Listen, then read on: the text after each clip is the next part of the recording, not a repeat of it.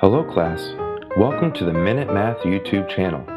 Please hit the subscribe button below and share our videos.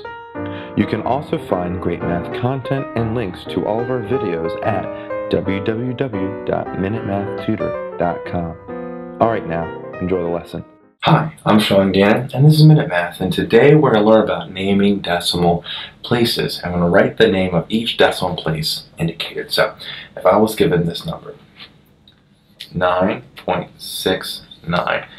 And right there, that 6 is the number that's indicated. Well, my technique right here, right, I put a 1 where the decimal is and put a 0 until the number indicated. So that's just the first one, 6. So I have a 10, right? So that means, since it's the right of the decimal, this is the tenths place. Tenths place. Okay? And there's our final answer. So quick recap, we're getting 9.69, and we need to know what placement the sixth is. Well, 1 underneath the decimal, my technique, and 0 underneath the 6, right, till the indicated value, that number is 10. So this placement is the tenths place. Hi, I'm Sean Gannon, the creator of Minute Math, and if you like this video, please hit the like button that's right there. If you have a mathematical question, just add it to the comment section below.